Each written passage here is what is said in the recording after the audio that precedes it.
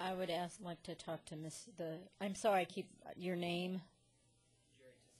Yeah, Mr. Tessier.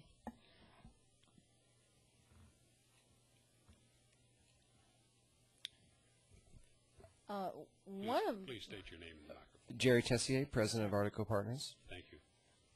I think one of the big um, interests I have is as far as moving the McDonald's versus not moving it in the cost to our city, which is substantial. Uh, how does this affect really ultimately what you are planning or what you envision? I know we haven't gone through community planning steps and so forth, but whether you have a McDonald's on the corner or as it is, how how much would that impact what your what your big picture plan is? In a nutshell, I guess I, I don't see the site plan as being feasible without the relocation.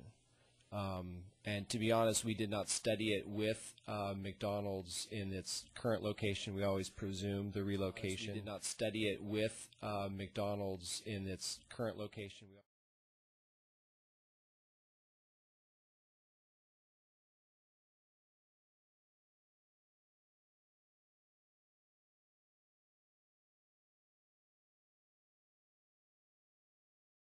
Not study it with uh, McDonald's in its current location. We